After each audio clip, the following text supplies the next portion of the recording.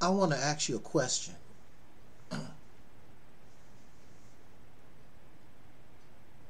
How do you tell somebody something they might view as negative or nasty? How can you tell somebody the truth without hurting their feelings?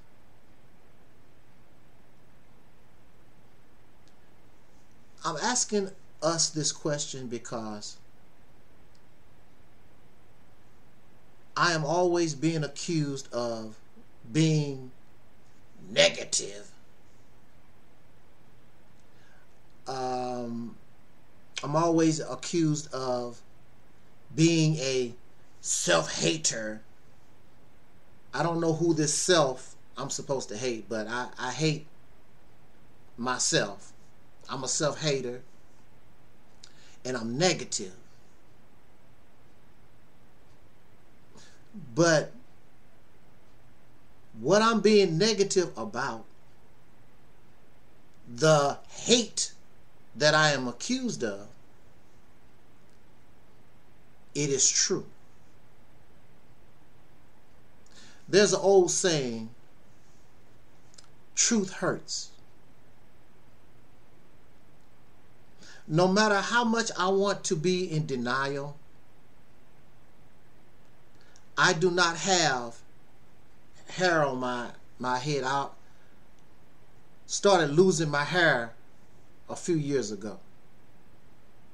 I would like for my hair to, uh, the little afro I used to wear or whatever, I would like to have that with no gray. I don't want no gray.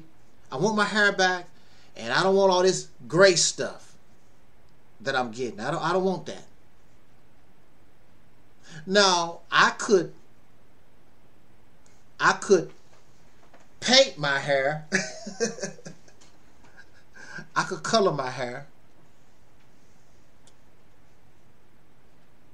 And I could probably wear one of those men uh, toupees, wigs, or whatever. I could probably do that. The reality and the truth is, I am turning gray, and all, I've lost all my hair in the front. I can grow hair all the way around, like George Jefferson or somebody. I could, if I let my hair grow, it'll be like George Jefferson. I won't hardly have any hair on the top. So I'd rather just cut it off. I don't. I don't want that. I, I'm not wearing a wig.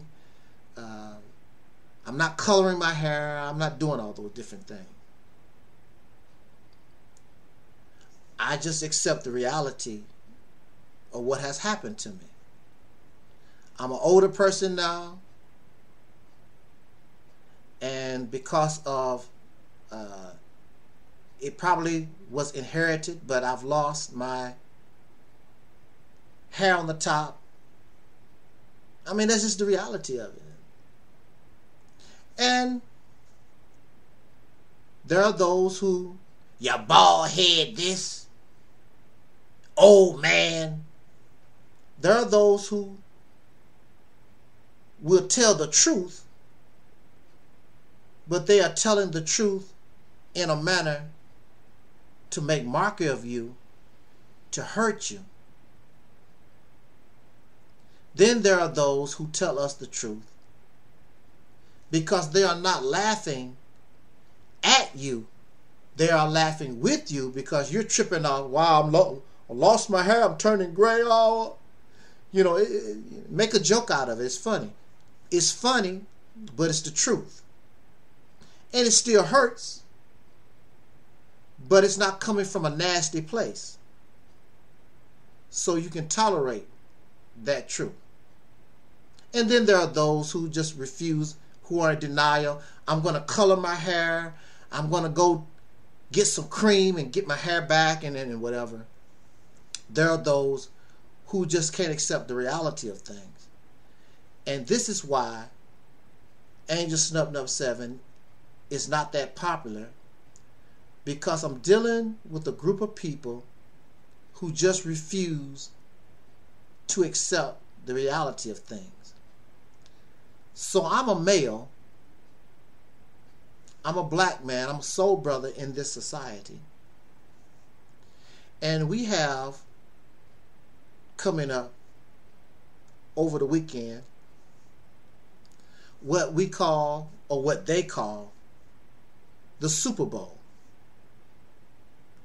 We're going to have, or they're going to have, Snoop Doggity Dog and Dr. Dre halftime show. Now, of course, what I'm going to say is negative.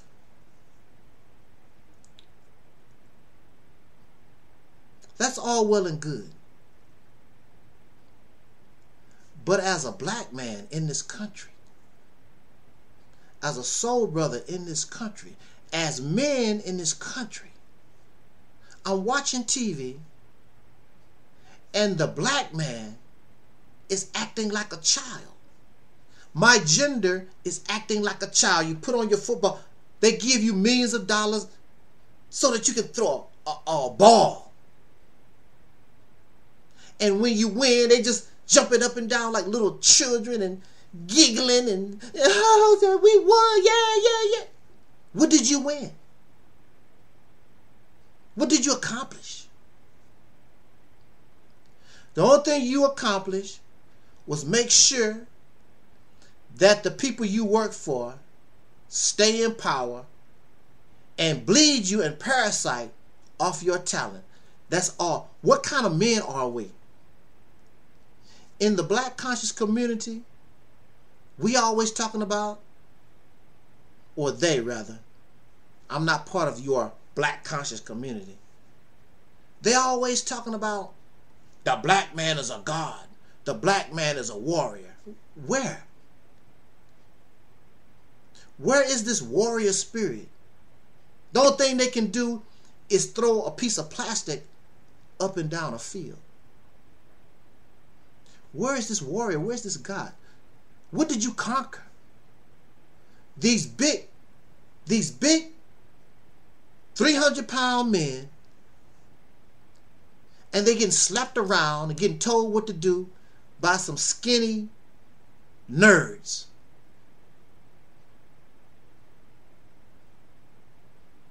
And you wonder why I am embarrassed by my gender. You're a warrior and you have conquered nothing. You have not conquered on the football field or in no point of endeavor in this nation.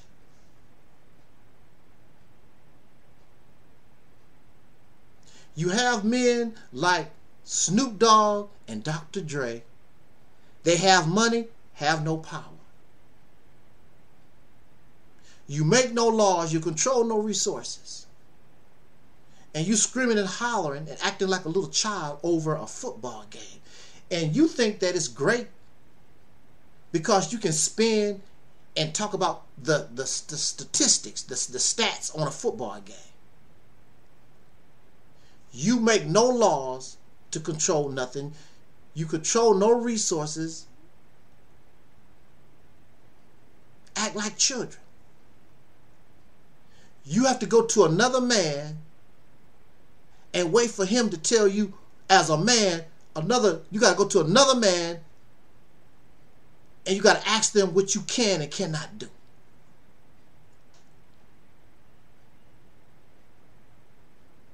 There's a brother who is suing the NFL for discrimination.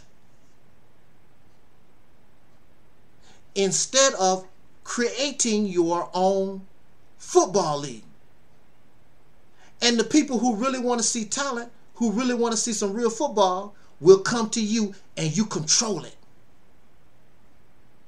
And push them suckers to the side. But you would rather go to the man's brother who make the laws, the courts of your enemies, and beg, uh, they discriminate against me. They won't let me play. They, are, they, they won't put me in a position. They won't let me play. I want to play. I want to be. It is embarrassing. For me, I don't know about you. It's, it's, it's embarrassing. It's truly embarrassing.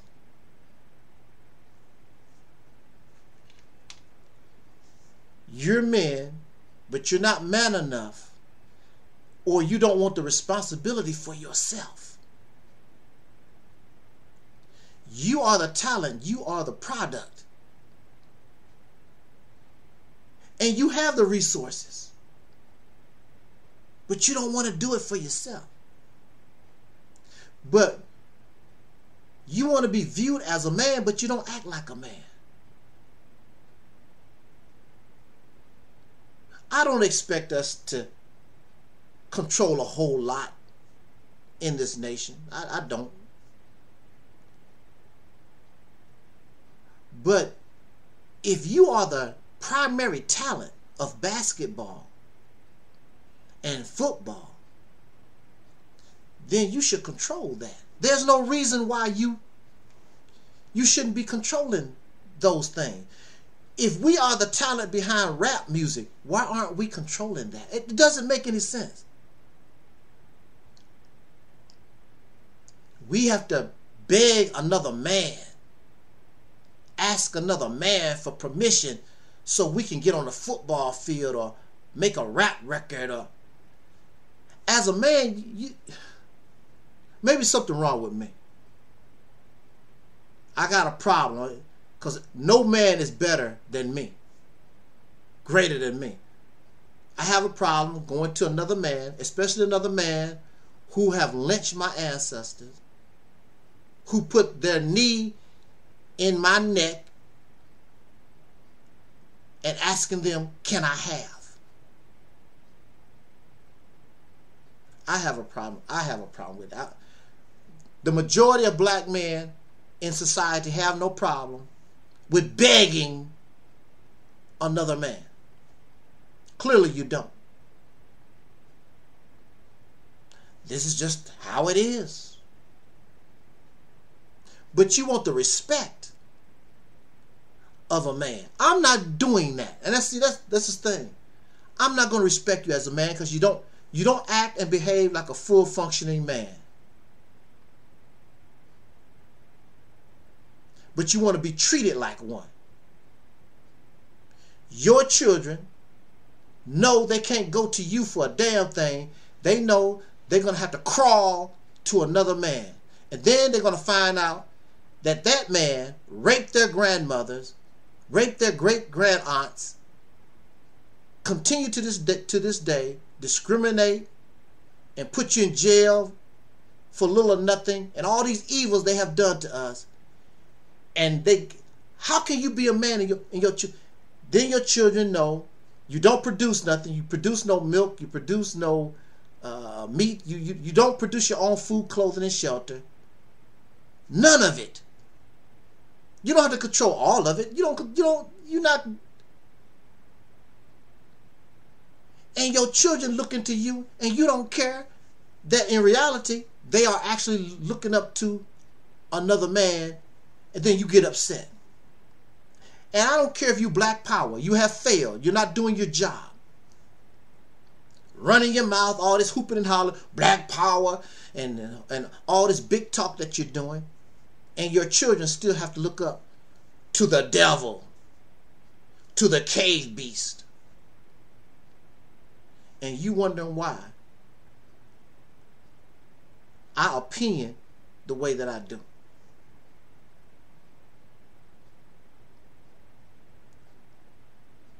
my gender is really, really embarrassing to me.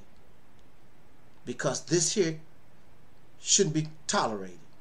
Enjoy your Super Bowl, act like children, and y'all have a nice Super Bowl and all that crap. You do that.